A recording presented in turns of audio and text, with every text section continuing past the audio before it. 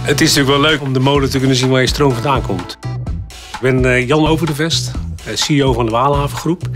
Eh, We zijn hier op onze terminal in de Rotterdamse haven, in de Waalhaven, waar wij schepen los en laden met containers. We zijn een middelgrote speler. Ik denk dat er ongeveer een miljoen containers door onze handen gaan jaarlijks. Wij willen in de toekomst willen in feite CO2-neutraal zijn vanaf 2030. Dat is de leidraad voor alle beslissingen die wij op dat gebied nemen. Nou, een belangrijke stap die wij gezet hebben is het eh, afnemen van groene stroom. Dat gaf direct een groot voordeel. Wij begonnen met het elektrificeren van de apparatuur, kranen met name. Een deel van onze kranen draait nog op diesel. En we zijn nu bezig om die, kranen over te zetten op elektriciteit. Daarnaast willen we ook onze heftrucks ook elektrisch laten rijden door middel van batterijen.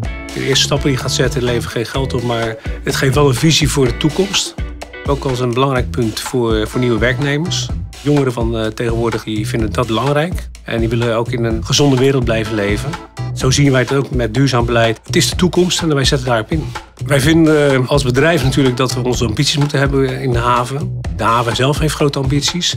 En dan is het ook heel belangrijk dat je dan een energiepartner hebt die daarin meedenkt. Eneco is toch wel zo'n partij die die stap heeft genomen en ook voorop wil lopen.